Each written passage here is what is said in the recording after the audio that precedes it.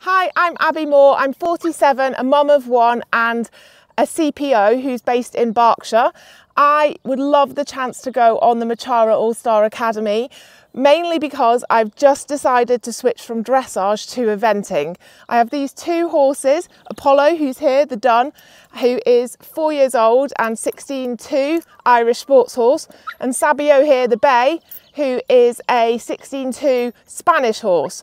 So I'd love the opportunity to go on All Star Academy to help me transition from dressage to eventing with one of these horses. Now, I can't decide which horse, so I'm going to interview them both.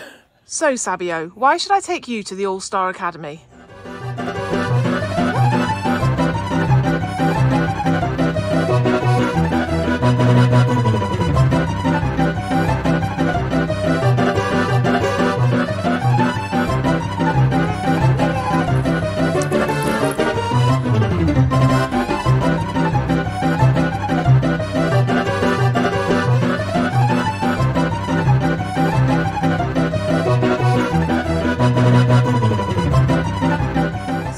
Apollo, what makes you a suitable candidate for the All Star Academy?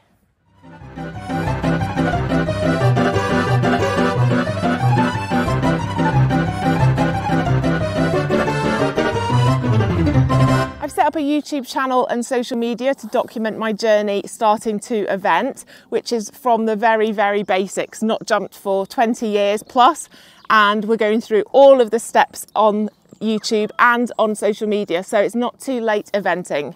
So I want to thank both boys for great interviews. I can't decide which one to take if I was successful, so let me know in the comments who should I take if I am chosen to go on the All Star Academy.